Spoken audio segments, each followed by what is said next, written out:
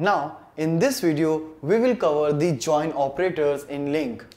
Basically, when we have the multiple data sources in which there should be something common but still it is non-navigable means you can't make a direct relationship between them so in that particular case we will use the join operators in order to get the combined result.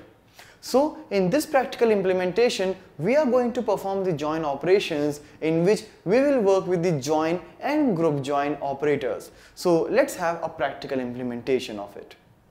Now for implementing the joins in LinQ, here I have created a couple of classes like first class is the department class where I have taken a couple of properties like department ID and department name and here in the employees class I have four fields like ID, name, salary and department with the specific data types. Now while making the joins what I'll do here is I will make a join using the department ID field from the employee class and the department ID field from the department class. So for that here I have taken a page inside which already I have taken a grid view for displaying the data and here I have created a method like get employees and get departments in which I have entered few records like here you can see ID, name, salary and department ID are the four fields which I have initialized for each record. Now at the end I have returned that employee list. Similarly here I have taken department list in which I have put four departments with an ID 10, 20, 30, 40 and here for the employees I have specified the same IDs like 10, 20, 30, 40 for the various employees. Now here I just populated a couple of lists like employees you calling get employee method and departments use calling get departments method. Now I have few records in the employees object and the departments object in which I will make a join using department ID field. So what I want here in this particular query is I will get the name of employee and department. For that here what I have done like previous example from employee from EMP in employees alright but right after that I want to make a join.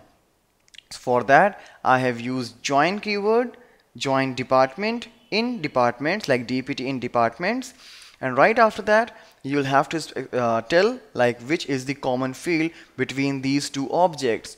So on emp.dptid equals dpt.dptid so like this you have specified the couple of objects along with the common field in those objects. Now in the select I will specify what all I want to retrieve. So here I wanted to get a couple of things like emp.name and dpt.dept name the respective uh, fields for the couple of objects. Here I have set something like new which we will discuss later while discussing the projection operator. So here you just need to write like this and whatever the result will come will be here in the result variable of variant type which I will set for the data grid view for the grid view for displaying the data now data uh, grid view dot data bind all right? So that will bind the records with the grid view. Now let's execute this particular page to get the output. And here you can see like I have all the records like 8 employees with the respective name and their department name. So this is how you can make a simple kind of a join. But if I want to perform a group operation along with making the join then we can do that as well. So for that I will just replace this query with the another one with few changes. Like here I will also specify like, like along with the department name department ID means uh, department in departments join EMP in employees on the common field name like we did earlier. Just after that I will say into grp into is a keyword which will make the grouping alright? And grp is just a variable which will help us in making that group. So right here in this select the couple of things I'm looking for. First is the dpt.dept name alright so I will actually make the group on the basis of this department name alright so that will be grouped okay? And then total salary. For that, I have just called the aggregate function which we will discuss in a great detail in the com coming videos. But here, what I want, the department name from departments collection, this one, and this sum of salary which I am giving for each employee in a given department from this collection. Alright, so total salary is equal to grp.sum, sum is this function out here in which there is an anonymous type. That's a lambda expression.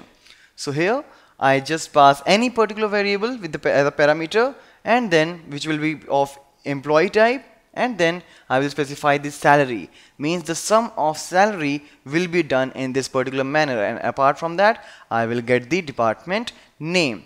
So all the department with the same name will be grouped and the output will be displayed. As here you can see in the output here IT operation training HR along with the total salary given in each department so this is how you can go for the join operator to perform a normal join and join with some group operation.